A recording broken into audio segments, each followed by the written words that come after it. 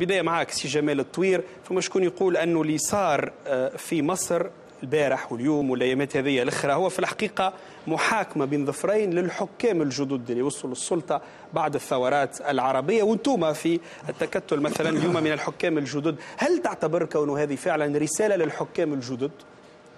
شكرا اولا على الاستضافة. أه نرى انه المسار في مصر والمسار في تونس مساران مختلفان. وفي بعض الأحيان المقارنة لا تجوز ماهوش نفس المسار.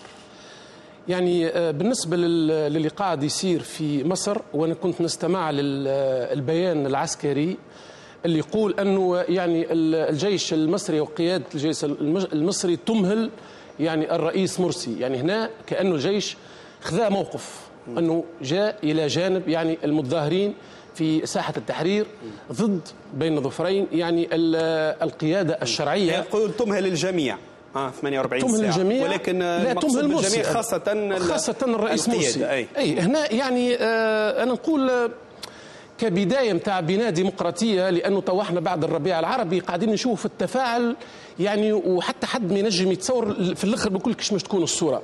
لكن من خلال اللي قاعد يصير نقول بداية ماهيش طيبة في مصر أنه يعني الجيش يأخذ مباشرة موقف ضد يعني مؤسسة اللي انتخبها الشعب لأنه مؤسسة الرئاسة في مصر هو انتخبها الشعب.